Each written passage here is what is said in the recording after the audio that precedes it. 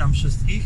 Chciałem rozpocząć nową serię dotyczącą mm, wodniactwa, a najbardziej motorowodniactwa.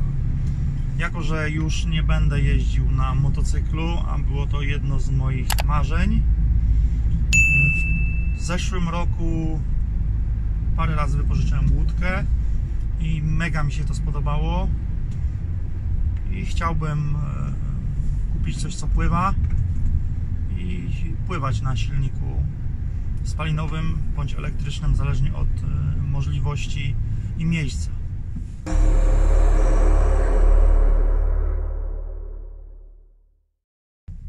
Moim marzeniem jest duży RIP, ale jako, że nie posiadam żadnego miejsca, w którym miałbym go trzymać, na razie to marzenie będzie odległym marzeniem. No, największym marzeniem to jest y, łódź taka kabinowa z wielkim silnikiem, no ale to w ogóle w tej chwili jest poza, moimi, poza moim zasięgiem. I będę chciał dążyć do tego, ale jako, że na razie nie posiadam miejsca, gdzie mógłbym to wszystko trzymać, yy, skupię się na zakupie tego, co jestem w tej chwili w stanie ogarnąć i co moim zdaniem jest dobre na początek więc e, zdecydowałem na, się na zakup pontonu. E, Będę kupował ponton wielkości 3,60 gdyż uważam, że mniejszy to jest dla mnie, jako że nie będę tego używał e, do wędkarstwa, rybactwa bądź innego tego typu sportu, mm, troszeczkę za mały. A chciałbym zabrać na łódkę ze sobą rodzinę, bądź dzieci, bądź jakiś tam znajomego, więc taki ponton mniejszy to jest bardziej dwuosobowy niż e, niż, niż, e, niż e, tak jak piszą czteroosobowy.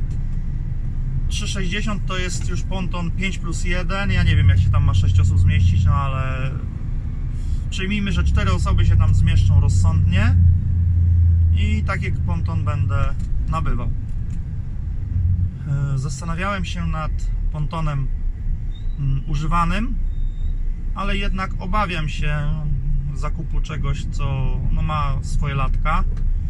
A pontony rzędu 2 lata, 3 lata potrafią kosztować tyle samo, bądź e, 100 zł taniej niż nowy. Więc to nie ma najmniejszego sensu kupowania takiego wynalazku.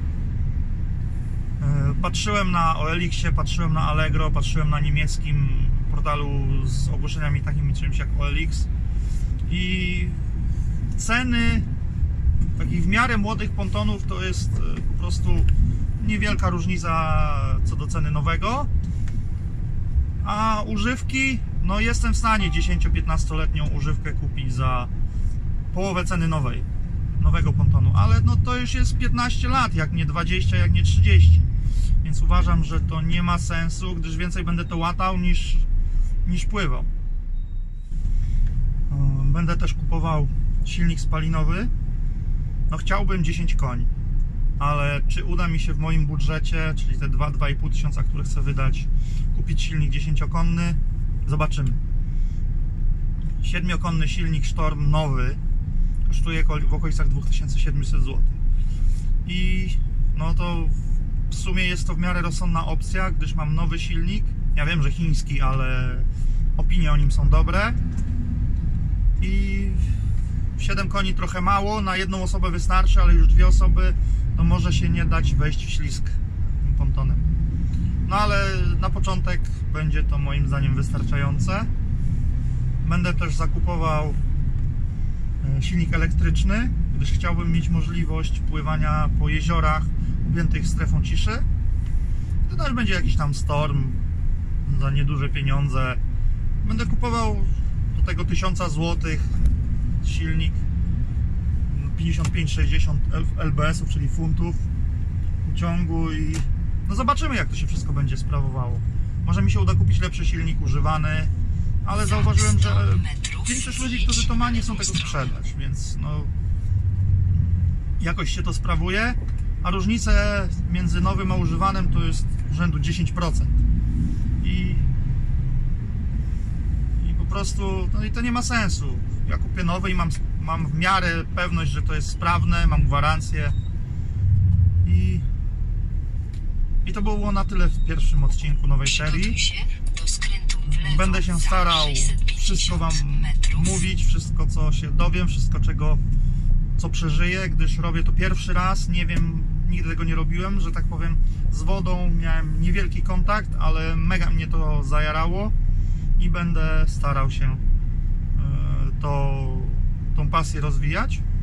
I tak jak mówiłem, na początku będzie ponton, gdyż jako, że na razie nie mam jeszcze ani łódki, ani miejsca, gdzie, ani przyczepy, żeby to trzymać, więc ponton będę woził w bagażniku i będzie rozwijanie, zwijanie, no ale jest to dla mnie możliwość.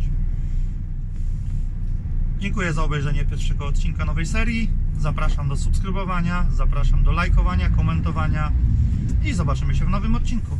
Cześć!